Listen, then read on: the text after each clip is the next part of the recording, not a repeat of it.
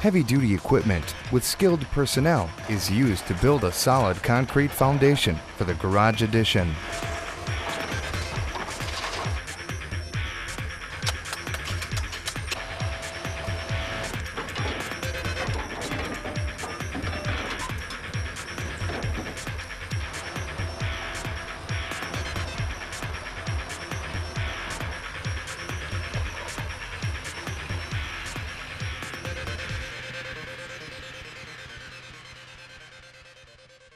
It's been a busy last couple of weeks. Our crews gutted the home, took all of the content, wires, pipes, insulation. Now, after pressure washing the home, the painters are here, and the painters today will be spraying all of the sooted areas as well as the rest of the lumber. The paint will dissolve with the soot and the smell will become sealed off um, and indiscernible when the painters are done.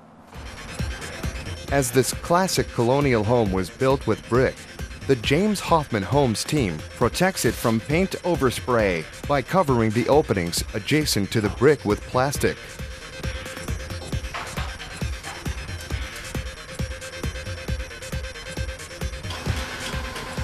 Painting is performed with sophisticated spray equipment as special paint is applied to seal the wood.